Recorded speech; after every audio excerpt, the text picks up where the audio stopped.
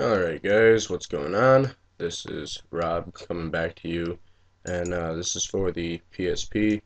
This is for uh, firmware 6.xx uh, to 6.39 right now. This is the CXMB. This is the custom themes enabler SE plugin for your new custom firmware. Uh, basically, I'm going to show you how to install it. So, um, yeah, uh, so let's see if we go to oh I already got it on my desktop. Here it is. Right here. The CXMB for 371 to 6.39 uh, basically what this does is just lets you use custom themes. I'm going to show you how to install it. So first things first you want to go and make sure that you're on custom firmware 6.390 so uh, Pro B7 or whatever that's what I'm running on. And um,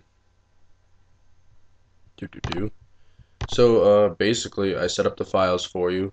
If you, when you download this, you're going to open it up and you're going to see the uh, CXMB folder with the support folder, configuration text, and the CXMB PRX in there, and the SE plugins folder with the VSH text that says ms0 colon forward slash CXMB slash CXMB.prx space 0.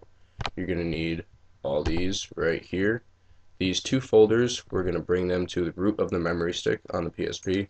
So what I'm going to do is just connect into USB mode right now by plugging it in like so. Get the fuck out of here, cat.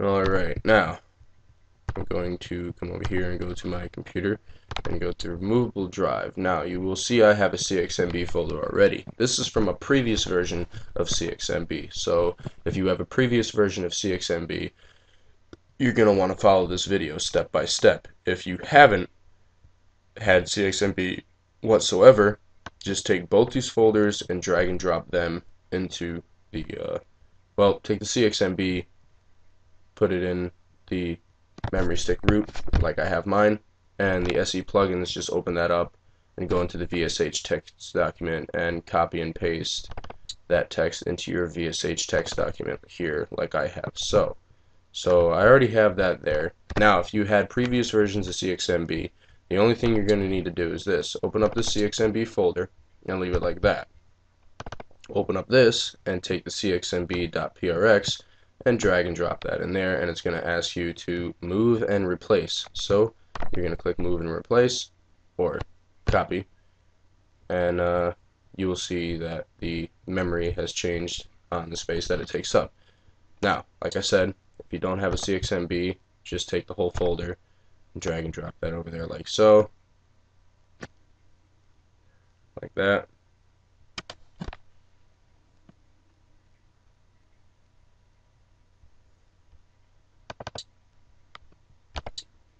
do.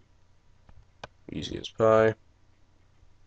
And uh, then what you're gonna do go into your SE plugins folder. If you don't have one just drag that whole folder over like I said before with the CXMB and open up the VSH text document. And what you're going to do is go into the SE plugins open up your VSH text in your extracted files control A and then control C to copy. Or you can just highlight it and right click and say copy. It doesn't really matter and paste that in this folder and as you can see I've done that right here like so the ms0 colon slash cxmb slash cxmb.prx space 0 it has to be a 0 not a 1 like all the other SE plugins because the 0 is on the root of the memory stick.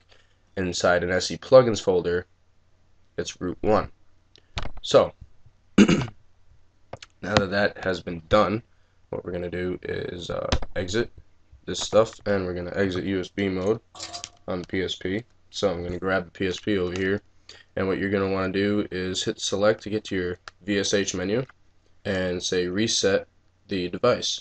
So reset device and hold down the R trigger. This is going to bring you to your recovery menu as we all know. Then once that is, go to plugins and you should see the cxmb.prx for the VSH and it's going to be disabled so you're going to want to enable that so once you enable that, you can go back and hit back again to exit the recovery menu.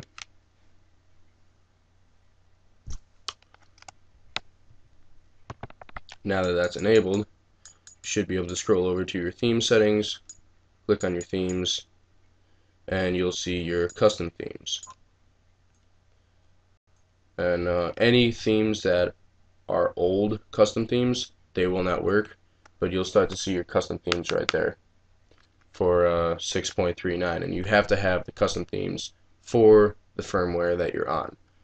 Not older ones. Newer ones will work with older firmwares but older firmware ones won't work with newer firmwares. So just remember that. So I will be making a video on themes um, momentarily. So um, you'll be able to find that link uh, probably right at the top of the screen here um, probably near this Texas folder and vacation folder.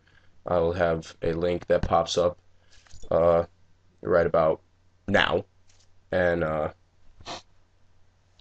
it'll be a link to the themes video once I have that up. So uh, that's how you install the CXMB for your custom themes on 639 Pro B7 custom firmware, well any Pro firmware. So uh, hope you guys enjoy. I will have the link for you and uh, rate, comment, and subscribe. And be sure to check out my new website. And yeah, so take it easy, guys, and I'll get back to you as soon as I can.